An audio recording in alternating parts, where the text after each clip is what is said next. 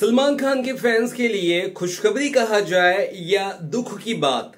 जी हाँ दोस्तों tiger three के पोस्टपोन होने की खबर हमें कुछ घंटों पहले ही मिल चुकी है।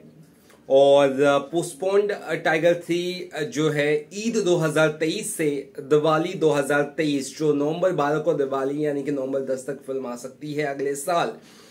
यानी सलमान खान के फैंस जो मई तक का इंतज़ार कर रहे थे ईद तक का अप्रैल मई का उन्हें चार से पाँच महीने आगे आ, का और इंतज़ार करना पड़ेगा और चार पाँच महीने छह महीने का इंतज़ार करना पड़ेगा।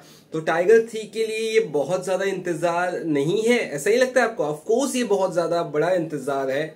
2000 सत्रह के बाद 2023 ये वाकई में दोस्तों बड़ा और लंबा इंतज़ार है। अब सबसे बड़ी बात पता है क्या दोस्तों? सबसे बड़ी बात यह है कि सलमान खान ने टाइगर थ्री को पोस्टपोन्ड अगर कर दिया है तो उस जगह, उस वक्त कौन सी फ़िल्म अपनी कुर्सी स्थापित करेगी या गाड़ेगी? यानी कि अपना जो हक है वो लेकर आएगी। तो मेरा ऐसा मानना है कि ईद 2023 में आने की प्रबल दावेदार दो फ़िल्में हैं। एक तो सलमान खान की किसी का भाई, किसी की जान जो दिवाली 2022 में आने वाली थी, फिर हमने सोचा, सुना ये दिसंबर 2022 में आने वाली है, जिसके चांसेस कम लग रहे हैं। दूसरी जो फ़िल्म है, वो है पठान, जो 25 जनवरी 2023 को कंफर्म आने वाली है।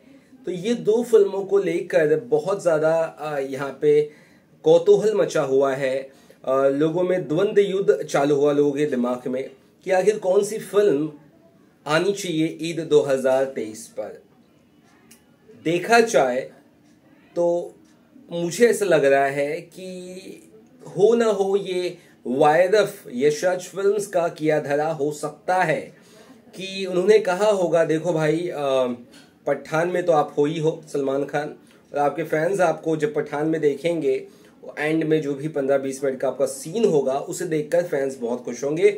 और ईद 2023 में वैसे भी आप दिखाई दोगे ही दोगे फैंस को। भले ही टाइगर थ्री से नहीं, लेकिन पठान से तो दिखाई दोगे ही।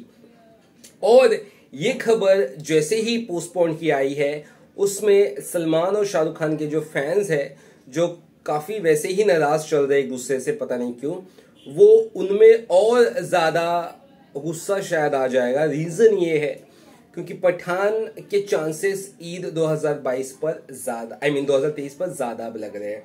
किसी का भाई, किसी का, देखो कंटेंडर के हिसाब से तो किसी का भाई किसी की जान को ही रिलीज़ होना चाहिए ईद 2023 पर, क्योंकि वो फ़िल्म को फटाफट तरीके से बनाने की कोशिश की जाएगी उसको थोड़ा वक्त मिलेगा और बेहतर तरह से उस फ़िल्म को बनाया जाएगा और उसे अच्छे से ईद पर रिलीज़ किया जाएगा। उसकी कोई रिलीज़ डेट भी अभी तक तय नहीं हुई है।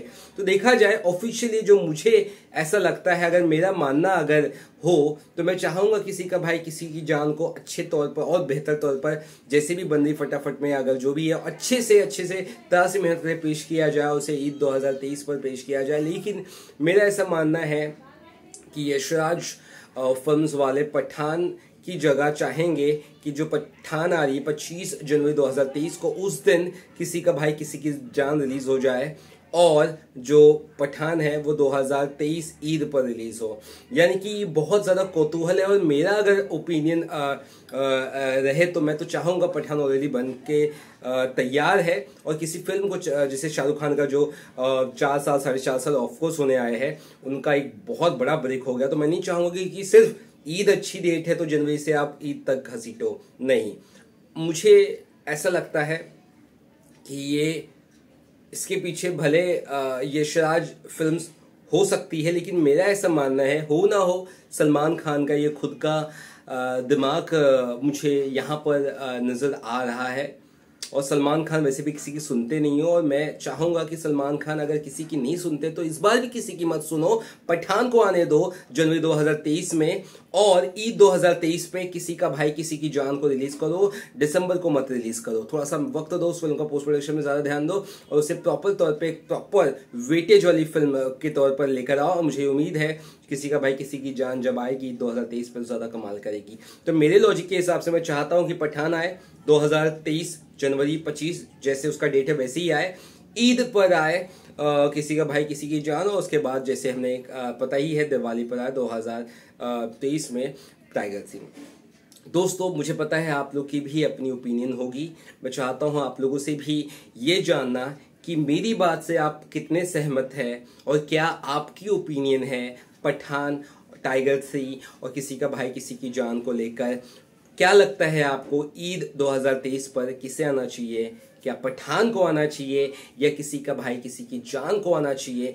कमेंट बॉक्स पे ज़रूर आपके आ, कमेंट करिएगा। मैं वेट करूँगा आपके कमेंट्स। देखता हूँ किस लॉजिक से होते हैं क्या आप सोच रहे हैं आपकी क्या एक्सपेक्टेशंस है आप कितने खुश है या मायूस है ये सब चीज़ों से ज़रूर बताइएगा। Love you all bye bye take care